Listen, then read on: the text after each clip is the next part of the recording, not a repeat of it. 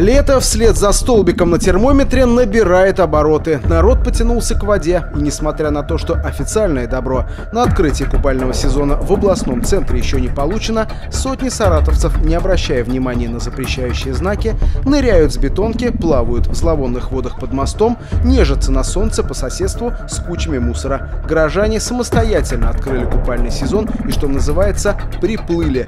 Пятеро утонувших. На начало июня. Печальная статистика. Тем временем единственный официальный пляж «Городские пески» практически готов к открытию, по крайней мере, как уверяют в Саратовской мэрии, все договоры подписаны, кабинки для переодевания покрашены, пробы воды и песка взяты.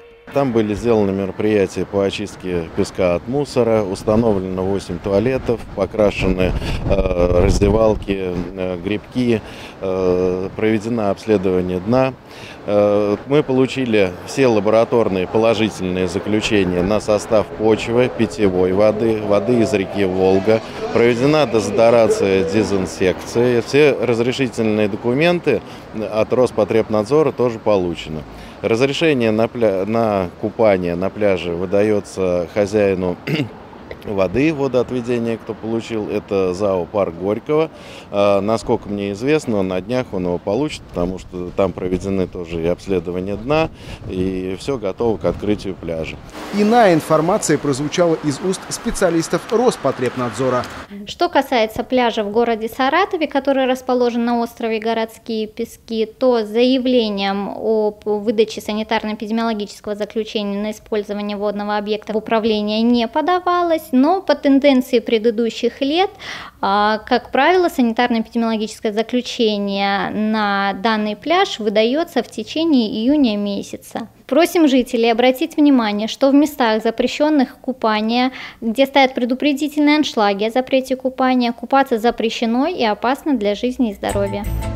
Увы, но сказать, что на городских песках все готово к купальному сезону, можно пока с натяжкой. В день сдачи единственного в городе официального пляжа у представителей госинспекции маломерных судов, отвечающих за безопасность, возникла масса вопросов к службе спасения. Вы готовились к этой приемке или нет? Готовились. Или просто как бы в общих чертах? Готовились. Вопрос такой, начнем с того, что у вас купаться можно или нельзя? Пока что нельзя. А почему я ни на одной матче не видел черного шара? Что означает черный шар? Что купаться запрещено. Молодцы, правильно. Две мачты, они обе пустые. Это первый вопрос. Почему я ни разу по громкой связи не услышал, что на территории пляжа купаться запрещено? Ни мы разу. готовились к этому. Я прекрасно понимаю, вы готовились, но это ваша работа, вы обязаны делать, потому Я что вы, вы отвечаете за людей. У вас люди находятся в воде. Главным камнем преткновения стало отсутствие понятного информационного стенда, который поможет горожанам не просто сориентироваться на острове, но и быстро решать проблемы с безопасностью, медицинской помощью и питьевой водой. Вы подошли, вы посмотрели схему, да, вы понимаете, здесь купаться можно, здесь купаться нельзя. То есть спокойно пошли, безопасно отдыхаете. Там на информационном стенде, где вы можете руки помыть, где попить, где в туалет сходить, должно быть информация. Порезали палец. Кому вы побежите, если вы не понимаете, где находится медицинский пункт? Вот я лежу на берегу, я понимаю, где спасательный пост, я вижу, что там люди находятся, наблюдают, какая-то ситуация. Может быть, он спасатель не увидел, я увидел. Я подбежал, сообщил, спасатель пошел. Работники пляжа пообещали устранить все недочеты за сутки. Завтра их ждет новая встреча с инспекцией. Не пугают горожан запретительные знаки и в солярии, который находится в Затоне. Полным ходом идет купание в месте, где, по мнению специалистов, сильное течение и крутой спуск в воду. Тем не менее, место благоустроенное, со спортивной площадкой, кабинками для переодевания, автостоянкой. Но пляж есть пляж. А потому уже не первый год, рассказал нам по телефону депутат Гордумы Николай Островский, на заседаниях разных уровней ведутся споры об организации безопасного купания в Затоне. Место очень удобное. Это рядом с городом. То есть вот у меня по части местоположения, если его можно обустроить, то это сделать нужно.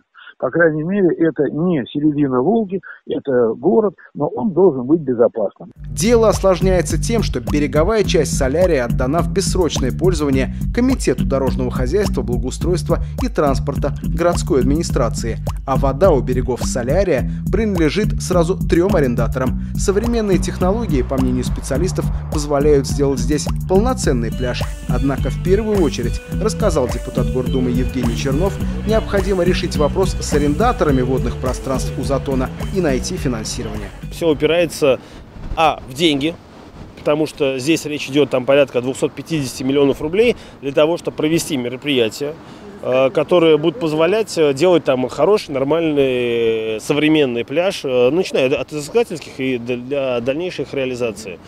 Эти 250 миллионов рублей и сосол специалистов, и там, возможно, соответственно, будет сделать пляж. И Б, это первоочередность направления расходов, да, потому что, с одной стороны, да, мы понимаем, что нужен пляж, но с другой стороны, мы понимаем, что также нужны деньги на исполнение решений судов, на переселение из ветхоаварийного э, фонда, на ремонт дорог, тротуаров, на асфальтирование там, э, школ, школ, дорог.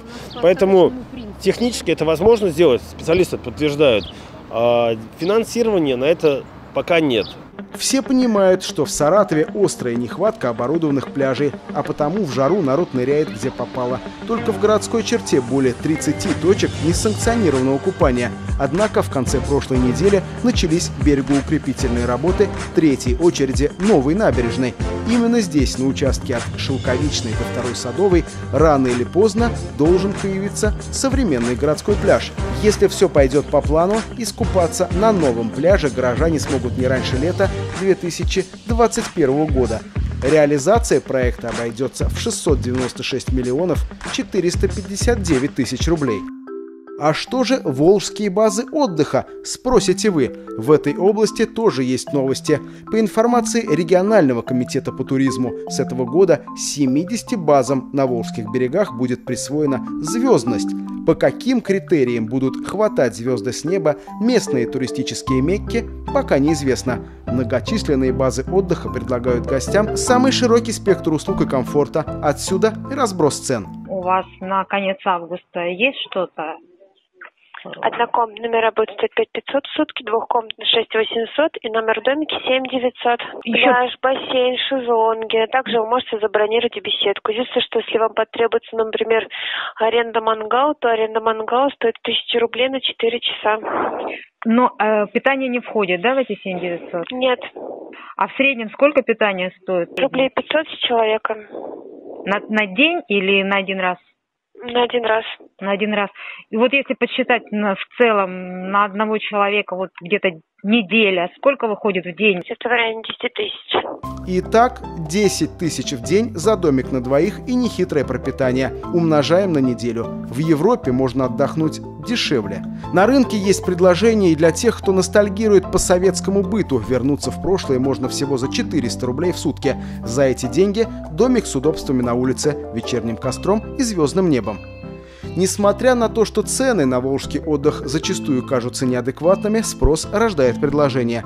Так считает руководитель областного комитета по туризму Виктория Бородянская. По ее словам, дорогие туры раскуплены до конца августа. Главной проблемой в отрасли остается человеческий фактор постепенно, не очень быстро, как нам хотелось, может быть, да, но уровень обслуживания на базах подтягивается и обслуживание, и человеческий фактор, потому что очень часто мы сталкиваемся с тем, что на объекте нам нравится все, но кто-то нам, может быть, нагрубил, невежливо ответил. Из-за этого у нас портится настроение и общее впечатление от отдыха. И это одна из самых больших проблем – человеческий фактор, то есть работа персонала. Инфраструктуру подтягивают, стараются сделать удобнее, разнообразнее, чище, то есть за этим следят.